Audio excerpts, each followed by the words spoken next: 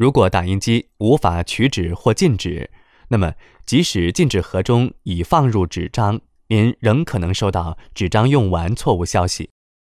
纸张质量较差或未正确放入，会导致打印机无法取纸或进纸。提起出纸盒，然后划出进纸盒，取出进纸盒中的所有纸张，检查进纸盒内是否存在障碍物。您可以使用手电筒来确保不存在任何障碍物。检查您从纸盒中取出的纸张的情况。从纸碟中取出所有弯曲、褶皱或撕碎的纸张，确保纸碟中有十至二十五张普通白纸。打印机可以存放更多张纸，但十至二十五张是用于测试的最佳数目。确保所有纸张的尺寸和类型相同，然后在平面上轻敲纸碟，使其对齐。将纸张完全放入进纸盒。向里滑动纸张宽度导板，直至其紧贴纸张边缘。不要将导板推得太紧，以防纸张弯曲。向里滑动进纸盒，直到其卡入到位，然后放下出纸盒。确认放入纸张的类型和尺寸，然后轻触确定。尝试打印。如果错误仍然存在，请继续进行下一步。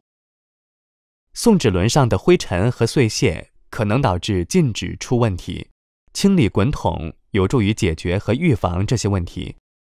开始操作前，请准备好以下清洁用品：干净的无绒布、棉签以及蒸馏水或瓶装水。蒸馏水或瓶装水比较好，但不是必须的。请勿使用酒精或其他化学清洁剂。关闭打印机电源。转到背面，拔下电源线和其他所有电缆，将电源线的另一端从电源上拔下。请务必先拔下电源线，再将手伸进打印机内部，以防受伤或触电。返回到正面，打开墨盒检修门。握住送纸道盖板的灰色把手，将其向上抬起并向外拉，取下送纸道盖板。使用您的手指抬起翻转门，用水蘸湿棉签，利用无绒布去除多余水分。找到两个送纸轮，然后使用棉签清洁，去除所有积尘和碎屑。当清洁完滚筒的一部分后，旋转滚筒，以便清洁整个滚筒。放下翻转门，用水蘸湿布，拧掉多余的水分。找到双滚筒，使用无绒布清洁，去除所有积尘和碎屑。当清洁完滚筒的一部分后，旋转滚筒，以便清洁整个滚筒。让滚筒干燥十分钟。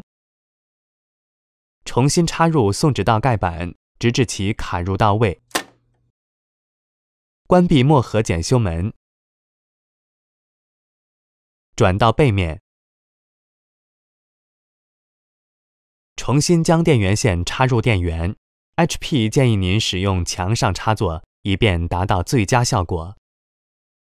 将电源线的另一端重新连接至打印机，然后重新连接其他所有之前连接的电缆。返回到正面，启动打印机，再次尝试打印文档。